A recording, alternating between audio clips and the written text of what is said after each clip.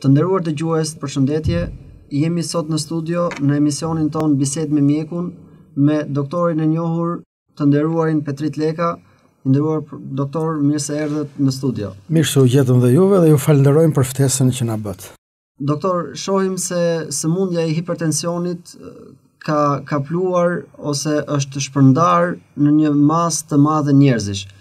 Ne do dëshironim të na njihnit me disa nga shenjat e hipertensionit dhe gjërat me të cilat njerëzit do të kenë nevojë, ne do t'i trajtojmë gjërësisht gjatë emisionit tonë në vijim, por si fillim do donim të dinim se çfarë është hipertensioni.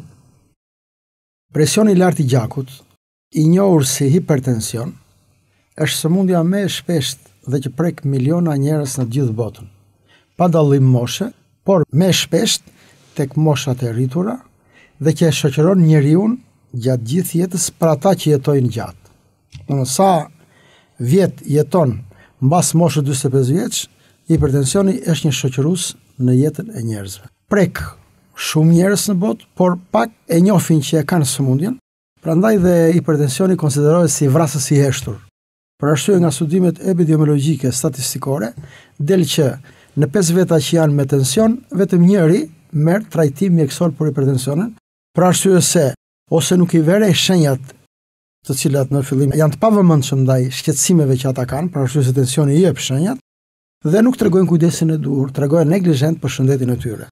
Pra edhe pse e kanë hipertensionin, përsëri ata nuk nuk janë koshientë se hipertensioni tashmë ka zënë vend në trupin e tyre. Po, njeriu i mësuar me gjendjen e mirë shëndetësore që trashëgon nga rinia, mbas një moshe, mbas moshës 40 vjeçare apo 45, fillojnë të shfaqen ca shenja si dhimbja e kokës, lodhja e shpejtë, rrafjet e shpejta të zemrës, i lidhin me problemet e ndryshme të jetës, jo hallet e ndryshme që kanë, jo aktiviteti fizik i rritur, Dhe nuk i kushtojnë rëndësi që edhe një dhimbje e lehtë koke, që e shoqëron si një dhimbje kronike koke e lehtë, pa qenë dhimbje që ta detyrojë në mënyrë urgjente të paraqitet, dhe nuk kërkon ndihmë mjekësore, por e kalon me marrjen e ndonjë qetësuesi si paracetamol dhe e ankon si ankesë dhimbjen e kokës, por nuk bën gjënë më të thjeshtë që të bëjë një matje të tensionit arterial. Ta di se nga i vjen kjo dhimbje. Që ta di se nga vjen kjo dhimbje. Dhe gjëja më e lehtë, më e thjeshtë që mund të bëjë një njeri mbas moshës dyzet vjeçare, është të masi tensionin. Dhe, sikur të dali normal, aq më mirë për të, por në një matje të rastësishme mund zbulohet që ai mund të ketë kaluar shifrat normale të tensionit dhe të ketë hyrë në ose në fazën e parahipertensionit, ose kur hipertensioni tek ai është instaluar, është vendosur dhe kërkon trajtim të kujdesshëm. Cilat janë limitet që tensioni i gjakut të konsiderohet i lartë apo i ulët? Se ju thotë nëse kalon limitet, cilat janë këto limite? Po, atëherë për ta sqaruar më mirë, cilat janë kufijtë e normës dhe kufijtë që flasin për hipertension, në radhë të parë duhet të dimë njëherë se çfarë është tensioni i gjakut ose çfarë është hipertensioni. Tensioni i gjakut është, po ta krahasojmë sistemin e qarkullimit të gjakut si një sistem ose që i themi ne kardiovaskular, që përfshin zemrën dhe enët e gjakut.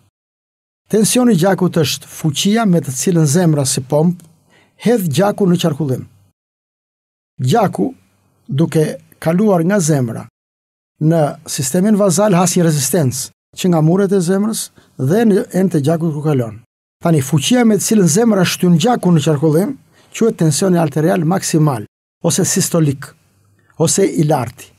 Ndërsa, rezistenca që has gjaku në muret e veta dhe në enët e gjakut ku ai futet në qarkullim, ky quhet tensioni diastolik, ose tensioni i ulët, këto janë dy matjet që dhe ne bëjmë për tensionin, pra tensionin sistolik dhe tensionin diastolik, i larti ose i ulëti. Normalisht, shifrat e një tensioni normal duhet të jenë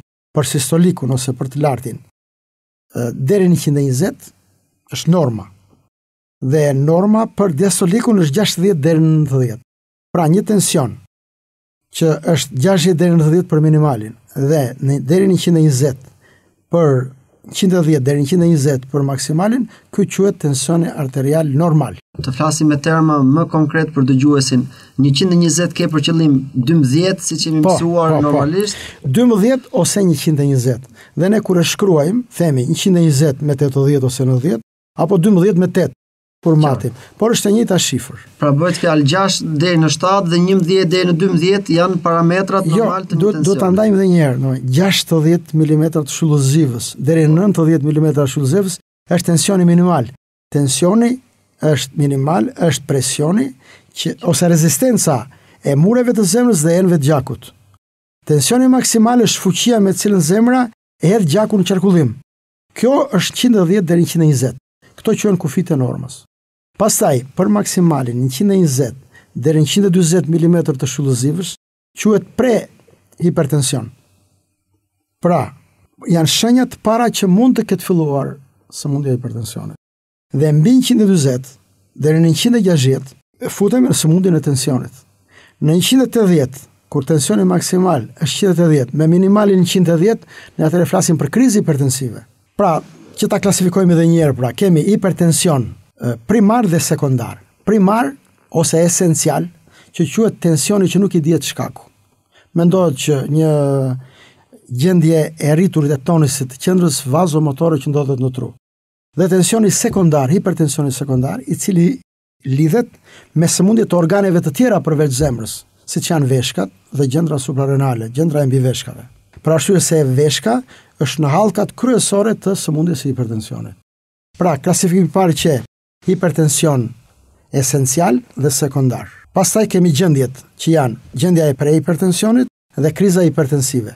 Të gjitha këto duhen ditur, për arsye se kanë rëndësi shumë Në rrugën që do mbajmë për trajtimin mjekësor dhe kujdesin do të tregojmë për veten dhe për të sëmurët për këtë sëmundje. Doktor, ju falenderoj për këtë pasqyrim të përgjithshëm se çfarë është hipertensioni, por mendoj se për dëgjuesit tanë është i rëndësishëm të dinë se çfarë e shkakton hipertensionin. Tani, sëmundja e hipertensionit është e rrjedhur nga disa shkaqe, të cilat janë bashkudhëtare me njeriu në jetën e tij të përditshme. Një nga ato për shembull është dieta me krip. Për arsye se është vënë re tek popujt të cilët përdorin ushqime të konservuara, siç janë pastërmaja, turshitë, të cilat kanë kripë Natrium, NaCl-ja, kripa e gjellës, po, kripa e gjellës është ajo natriumi është kryesori në fillimin dhe në ecurinë e hipertensionit. Për arsye se natriumi rrit rezistencën vaskulare, pra rrit rezistencën e enëve të gjakut. Dhe rrit mbajtjen e ujit në trup. Pra nga një anë rritet mbajtja e ujit, por nga ana tjetër rritet rezistenca e enëve. Humbet elasticiteti i enëve. Prandaj Thuhet që në shkaqet e para hyn një dietë që ka kripë shumë. Ashtu siç është edhe fjala popullore që thotë, gjella me kripë dhe kripa me masë ose me karar. Sepse gjella pa kripë është pa shije. Po një amvisë e mirë, një kuzhiniere e mirë, apo dhe vetë një njeri i kujdesshëm, është në gjendje që të ta ruajë shijen pa e tepruar me kripën. Sepse kripa hyn në shkakun e parë, kjo është një gjë që është vënë re si në studimet epidemiologjike të popujve të cilët e përdorin kripën shumë dhe të popujve që nuk e përdorin. Dhe te këta, sëmundja e hipertensionit vihet re më pak. Një shkak tjetër është stresi. Stresi nënkupton një presion, një gjendje alarmi të rritur në trupin e njeriut. Për shembull, na ka ndodhur që kur dëgjojmë një lajm të papritur, qoftë të një hidhërimi të madh apo të një gëzimi të madh, secili në vetvete ndjen një shqetësim për shembull një shtrëngim gjoksi, një rrahje të shpejtë të zemrës, një dhimbje koke, një skuqje në fytyrë. Kjo tregon që nga gjëndra mbiveshkore është janë prodhuar hormonet e alarmit, është adrenalina. Adrenalina është hormoni që e mban në tonus sistemin vaskular. Dhe Nga një anë rrit fuqinë e zemrës dhe të qarkullimit, por nga anë tjetër rrit dhe rezistencën. Dhe një stres i zgjatur, pa u shoqëruar me masat e tjera që ne do t'i themi më vonë, favorizon dhe ky rritjen e tensionit arterial. Tjetër ndikojnë obeziteti, mbipesha. Mbipesha ça nënkupton, nënkupton shtimin e masës dhjamore në trupin e njeriut. Prandaj quhet dhe faza e tretë e mbipeshës është obeziteti. Kjo vështirëson punën e zemrës, në qarkullimin e gjakut, qoftë me grumbullimin e yndyrnave në gjak, që thamë që ndikon pastaj në uljen e elasticitetit vaskular, por dhe në mbingarkesën që i bëhet punës së zemrës. Tjetër është që shoqëron është diabeti si sëmundje. Pra ashtu se është parë që 60% të sëmurëve me diabet kanë dhe sëmundjen e hipertensionit. Shkak tjetër për hipertensionet sekondare, sidomos, është sëmundjet e veshkave. është vënë re që infeksionet e veshkave, sidomos glomerulonefriti, që prek enët e gjakut të veshkave, po dhe pielonefriti në fazën e insuficiencës, edhe këto çojnë në rritjen e hipertensionit. Në të këtë rast quhet hipertensioni sekondar. Kjo mund të konstatohet dhe në moshat e reja. Për arsye se thamë që hipertensioni është një sëmundje e moshave të rritura, por në rastet kur kemi të bëjmë dhe me sëmundje të mbiveshkës, apo të veshkës kemi dhe rastet e hipertensionit. Për të qenë sa më konkret me dëgjuesin tonë, ju përmendët se ndër shkaqet kryesore të hipertensionit së pari është konsumimi tej mase i kripës. Po. Përmendët gjithashtu një faktor të dytë, stresin. Përmendët dhe obezitetin. Përmendët gjithashtu dhe sëmundjet e veshkave. Pra, po të shohim, hipertensioni është një sëmundje që ndikohet nga disa Sëmundje të tjera po themi është maja e ajsbergut e cila tregon se në trupin e njeriut ka diçka që nuk funksionoka. Po. Cilat janë disa nga arsyet ose shkaqet e tjera përveç këtyre që ne përmendëm? Po, mund të përmendet alkooli.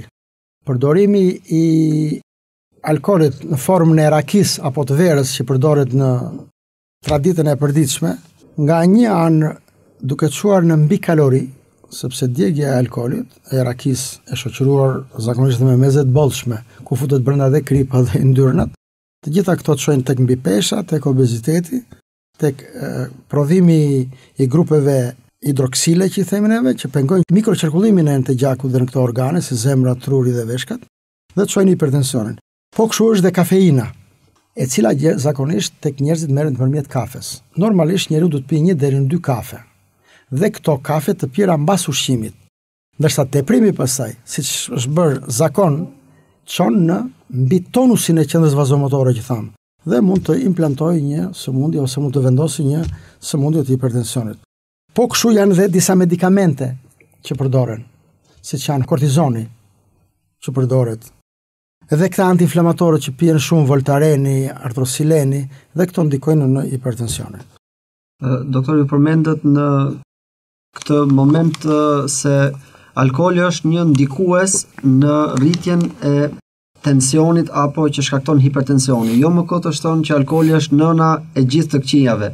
Por një e keqe që duhet ta shmangim të paktën qenka dhe pikërisht se shkaktoka hiper hipertension. Fatkeqësisht ata të cilët pinë kafe më së shumti e shoqërojnë edhe me një dozë alkooli nga pas, pra që do të thotë se janë më të predispozuar për t'i zënë kjo sëmundje apo për t'u sëmurë nga hipertensioni.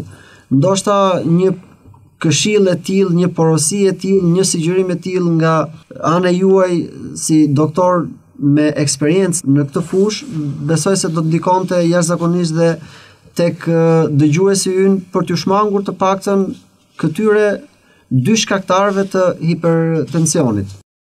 Po ju e thatë shumë mirë që alkooli është mbreti i të këqijave mund ta quajmë sidomos në kohët e tanishme.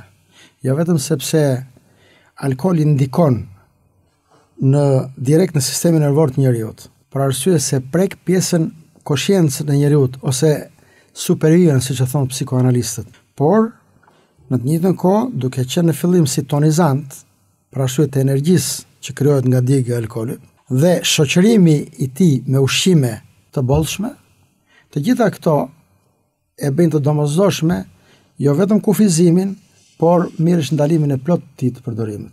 Pavarësisht se shumica e quajnë dhe si shenjë civilizimi apo si shenjë, po të shikojmë sot aksidentet e mëdha që bëhen vetëm për këto, përbën një si indikacion i themi në gjuhën mjekësore.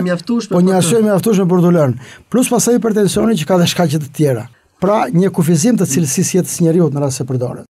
Po, meqë jemi në këtë pikë, ç'mund t'i themi atyre të cilët thonë se nëse konsumohet në sasi të vogla nuk ka dëm. Ne do t'i themi atyre që ka shumë dëm, se nga e vogla del e madhja. Edhe e thotë dhe fjala popullore që në fillim pi njeriu raki, pastaj pi rakia raki, pastaj pi rakia njeri. Domethënë, hipertensioni është më e vogla e dëmeve që sjell alkooli. Dëmet e tjera janë të pallogaritshme. Doktor, duke ju falënderuar dhe për këto sqarime të cilat besoj se uh, ia vlen të merren në konsideratë patjetër, por jo vetëm të mjaftohemi me dëgjimin e tyre, por do të ishte mirë aplikimi, zbatimi se nëse doktori e jep recetën dhe receta nuk aplikohet, nuk zbatohet, atëherë ç'vlerë do të ketë ajo. Doktor, më lejoni t'ju bëj një pyetje tjetër, cilat janë shenjat që tregojnë që dikush vuan nga kjo sëmundje, që dikush vuan nga hipertensioni? Tash ne e thamë edhe në fillim që konsiderohet vrasës i heshtur. Për arsye se dëmet që sjell hipertensioni janë të mëdha, duke dëmtuar enët e gjakut, krijon kushte për të krijuar i themi neve në trashjen dhe në humbjen e elasticitetit të enëve të gjakut. Por nga shenjat e para që jep është dhimbja e kokës. Një dhimbje karakteristike, dhimbje e zgjatur, që ndonjëherë shoqërohet me miza para sysh, me turbullime të shikimit, me zhurmë në vesh, me marrje mëndsh, me lodhje të shpejtë, me rrahje të shpejtë të zemrës. Tani këto nuk fillojnë të gjitha njëherësi, por fillojnë në mënyrë graduale. Kjo dhe njerëzit i ambienton dhe ua, ua heq atë vigjilencën ose ndjeshmërinë për të shkuar, për t'u vizituar. Por gjë e parë që duhet bërë tek çdo njeri, duhet të ketë në kujdes, është kryerja e vizitës mjekësore e parë. Dhe një matje thjesht tensioni të orienton për rrugën që do ndjekur pastaj, ose për ta parandaluar që të mos zhvillohet më si sëmundje, ose për ta mbajtur në trajtim. për arsye se ka të bëjë shumë zgjedhja e kujdesit qoftë nga ana natyrale, qoftë dhe nga ana mjekësore. Si rregull për përcaktuar nëse ke hipertension apo jo, bëhen 5 matje, 5 ditë rresht. Në rast se 3 matje dalin në shifrat që thamë, domethënë mbi 140 dhe shoqërohen dhe me rrahje të shpejtë të zemrës mbi 90 pulsi në minutë, 3 matje të 3 ditëve, duhet me domosdo të fillojë një mjekim. Ndërsa në rast se këto dalin dy mbahet nën kujdes me rregullat higjienodietetike. Dhe para fillimit të mjekimit ka dy teori njëherë. Një teori thotë që në fazën e prehipertensionit ose hipertensionit labil të ndjeshëm mendohet që ka disa që thonë të mos fillojmë mjekim për arsye se mësohet dhe duhet vazhduar pra, gjithmonë mjekimi. Por ka dhe një diçka tjetër, se tek shumë njerëz në këtë fazë mund të ndodhin në varësi të rrethanave të ndryshme që thamë të faktorëve stresantë, të mbingarkesës dietetike, të një goditje, të një shkaku tjetër, mund ndodhi një krizë hipertensive. Në rast se tek një person me sistem vazal jo harmonik të ruajtur, mund të ndodhi nga kriza hipertensive një hemorragji. Pra në një aneurizëm që mund të ketë një njeri të cilën nuk e di, që është zgjerimi i enës gjakut. Mund ndodhi plasja e saj dhe ngelesh gjithmonë pastaj invalid deri në ditën që bëhet ndërrimi i jetës. Prandaj nga momenti që vëren një matje të parë tensionit të lartë, duhet të karakterizohesh ose të protokollohesh dhe të ndiqesh në mënyrë të rregullt. Kur kjo patologji në bazë dhe të ekzaminimeve të tjera që bën, konsolidohet si diagnozë e hipertensionit, atëherë është e domosdoshme fillimi i një mjekimi. Ishe më se i qartë, doktor, qysh kur shprehët se hipertensioni është një sëmundje e heshtur. Dhe për sa kohë që qenka kaq e vështirë të informohet pacienti në rastin konkret apo individi, atëherë lind si nevojë që gjithësecili prej nesh të paktën të bëjë një matje të tillë për 5 ditë rresht dhe nëse është në normat normale, le të vazhdojë ta konsiderojë veten e tij normal, në të kundërt duhet patjetër të kartelizohet apo të ndiqet nga një mjek sepse do të vazhdojnë pastaj pasojat e saj të cilat nuk do të ishin të pëlqyeshme për askënd. Pra ne vazhdojmë të vuajmë nga psikoza që shkojmë tek doktori vetëm atëherë kur sëmundja ka nxjerrë krye. Kur sëmundja është e avancuar, në kujdesin për shëndetin e njeriut, detyra e parë është përcaktimi i atyre faktorëve riskantë që rrezikojnë jetën ose cilësinë e saj. Tensioni hyn në këto sëmundje se përbën faktor risku për aksidentet i themi neve kardiovaskulare, cerebrovaskulare, pra aksidentet të trurit dhe të zemrës. Të dyja, zemra mund të shkojë në një infarkt ose në një çarje të enës së zemrës dhe truri një hemorragji cerebrale, të cilat hemorragjia cerebrale për shembull është baras me humbje jete. Po kështu dhe infarkti në varësi të zonës apo të arteries që është prekur. Prandaj, si rregull, kujdesi i shërbimit publik, i shëndetit publik bën herë mas here depistime në grup popullatash të ndryshme dhe bën sensibilizimin për kujdesin që do tregojnë njerëzit. Por po marrim rastin kur është përcaktuar si sëmundje e hipertensionit. Atëherë fillon dhe trajtimi mjekësor i saj. Doktor, meqë kaluam tek kjo pjesë e emisionit tonë, tek trajtimi, cili do të ishte mjeti ose cila do të ishte më saktë mënyra më e mirë që dikush të trajtohej me hipertension fillimisht në kushtet shtëpiake, duke iu shmangur atyre ushqimeve që ju i përmendët pak më sipër që kanë kripë, sasi të lartë kripe apo duke iu shmangur dhe atyre ushqimeve që nxisin hipertensionin. Pra, cili është trajtimi konkretisht i hipertensionit në fazën e tij fillestare, por edhe nëse ai ka avancuar tashmë. Tani, nisur nga parimi që është më lehtë ta parandalosh një sëmundje sesa ta kurosh atë, rëndësi të madhe merr kujdesi pa u sëmurur. Në kujdesin pa u sëmurur hyn ajo që thamë neve dieta e para. Kufizimi i kripës. Njerë ka shumë njerëz të cilët kënaqen sa më shumë kripë të kenë në gjellë. Këtu duhet kujdes, duhet të përcaktojë njeriu vetë në vetveten e tij të mos e kalojë të ruajë një masë të caktuar që mund të jetë deri në 1500 miligramë është ajo doza e kripës që duhet të ketë, por për të mos u futur në peshime është e keqja. Njeriu vetë duhet të mësohet me cilësinë e kripës në ushqimet që ai përdor. Është mirë bile të mjaftohet dhe me kripën që kanë vetë ushqimet, për shembull kripa që ka vetë buka, vetë frutat, se të gjitha kanë përqindjen e tyre të kripës. Dhe të mos synojë që të hedhim ekstra, ekstra mbi të. Kjo është e para. Pastaj dyta është në ushqim të predominojnë frutat, zarzavatet, perimet, e ndryshme. Për arsye se këto ndikojnë me duke pasur vitaminat që thamë, kripërat minerale, duke mos lejuar stomakun të marrë ushqime superkalorike, ruajnë thamë atë elasticitetin e vazave të gjakut, nuk lënë të zhvillohet ateroskleroza, që dhe ajo hyn në faktorët predispozues të hipertensionit. Mbas kësaj, pastaj vjen jeta higjienike në kuptimin e, e jetës aktive. Për arsye se nuk e thamë më parë, por një nga shkaqet është jeta sedentare i themi neve. Jeta që sidomos njerëzit e punës mendore, të cilët kanë pak aktivitet fizik, duhet të vënë në praktikën e tyre lëvizjen, ecjen. Rekomandohet 35 deri në 40 minuta Pesë ditë në javë që njeriu të bëjë ecje të lira në ajër të pastër, ecje të shpejta.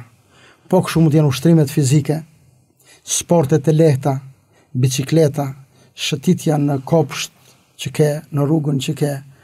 Mirë është që këto shëtitje, këto lëvizje, ushtrimet të bëhen në ajër të pastër. Këto vetë pastaj ndikojnë në oksigjenimin e mirë të trupit, të qelizës të enëve të gjakut, dhe kjo ndikon në ruajtjen e aktivitetit të zemrës dhe të enëve të gjakut. Po kështu i themi ne frymëmarrja e thellë. Njeriu duhet ta mësojë ta praktikojë disa herë në ditë. Dhe në momentet e caktuara të stresit për shembull apo të një gjendje nervoze, një, një punë të rëndë lodhje intelektuale, frymëmarrja e thellë që nënkupton Marrjen frymë me hundë dhe nxjerr, kjo bëhet 3 herë në ditë dhe vetë frymëmarrja e thellë ndikon në oksigjenimin e mirë të trupit dhe ruajtjen e shëndetit. Përdorimi i ujit ka shumë njerëz të cilët mësohen me mospirjen ujë. Normalisht njeriu duhet të pijë 2 deri në 3 litra ujë në ditë. Dhe këto i kemi thënë dhe një herë tjetër të ndara. 2 gota ujë 30 minuta para ushqimit dhe një gotë një orë mbas ushqimit. Edhe bën 3 herë në ditë, nga 3 gota 9 gota, duhet të jetë sasia normale e ujit që duhet të pijë njeriu. Pra, i themi neve gjendja e hidratuar, e njomur e trupit. Ajo krijon kushte për punën normale të qelizës. Tjetër, rregullat që duhet të mbajë njeriu pa harruar dhe një gjumë i mirë, sepse një gjumë i mirë 8 orë çon në një ditë të mirë dhe në çlodhje sistemin nervor. Se dhe sistemi nervor, thamë, hipertonusi i qendrës vazomotore është shkak i hipertensionit esencial. Këto janë rregulla që do t'i bëjë çdo njeri në kushtet e zakonshme të shtëpisë apo të aktivitetit të përditshëm të tij. Por, hipertensioni është një sëmundje që nuk zgjidhet vetëm me masa individuale në kushte shtëpie. Kërkohet patjetër ndihma mjekësore e kualifikuar bile në etapën e parë të përcaktimit të mjekimit. Pra, shtoj se për mjekimin e hipertensionit ka disa shkallë. Në shkallën e parë të mjekimit medikamentos, etapa e parë rekomandon një mjekim vetëm me diuretik i themi ne. Në fazën e parë mjafton të përdoret janë dy tipa diuretikësh, një diuretik i cili duke larguar natriumin e trupit njeriut, merr dhe ujin me vete dhe ul rezistencën vaskulare. Ky është lasiksi, i cili mund të pihet një gjysmë tablete çdo 2-3 ditë ose edhe një herë në javë dhe mbahet në kontroll të vazhdueshëm matja e tensionit.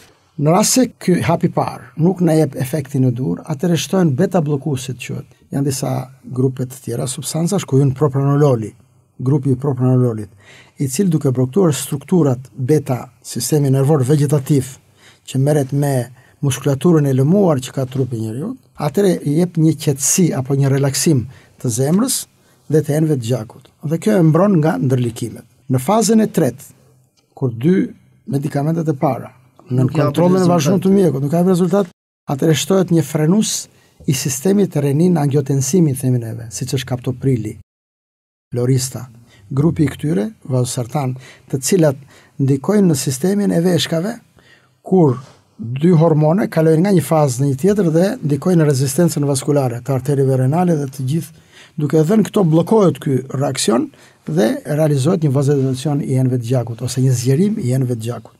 Që çon automatikisht në një qarkullim normal të gjakut. Këto janë tre grupet kryesore të medikamenteve, po në varësi të shkallës apo të stadit të zhvillimit të sëmundjes. Tani ka rëndësi të madhe të kuptohet nga njerëzit dhe mjekimi ç'është kriza hipertensive.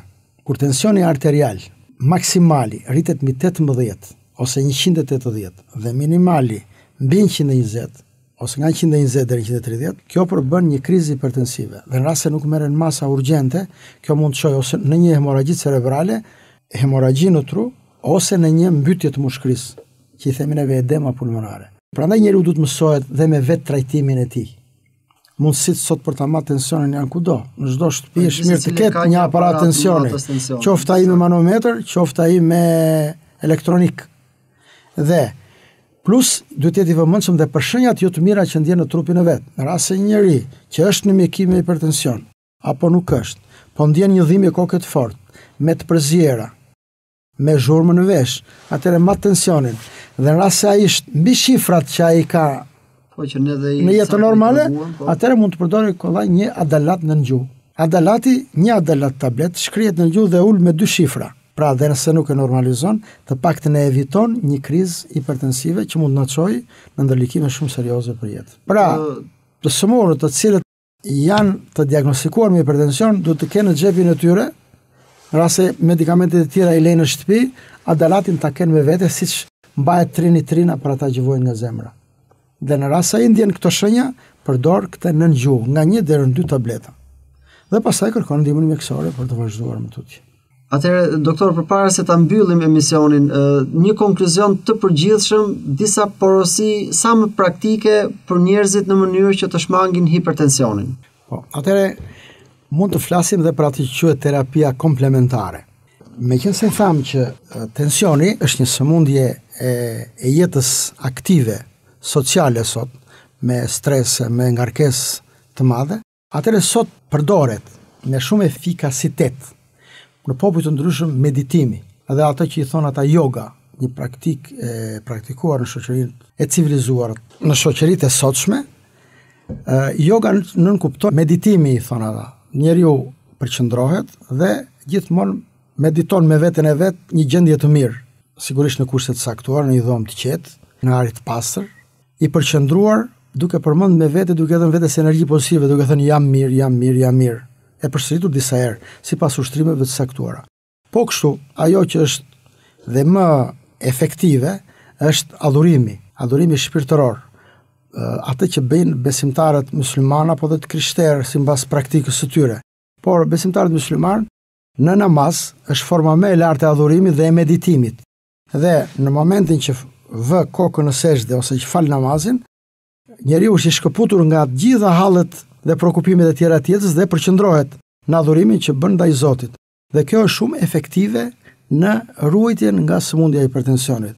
Dhe janë bërë studime tek njerëz të cilët ushtrojnë në mënyrë të rregullt praktikën fetare, qoftë të krishterët apo dhe muslimanët, Dhe sëmundja e hipertensionit takohet shumë rrallë dhe është shumë e kurueshme. Pra ju doni të thoni doktor se ai personi i cili e, falet 5 herë në ditë e vendos kokën në sexhde dhe lejon qarkullimin e gjakut në një formë shumë të qetë në një rrjedhje normale. Kjo ndikon në shmangien e hipertensionit? Jo sigurisht sepse gjatë kohës që bëhet meditimi apo adhurimi, Sistemi nervor relaksohet, qetësohet plotësisht dhe ne thamë që hipertensioni ishte lidhur me prodhimin e shtuar të adrenalinës, pra të hormoneve të kortizolit.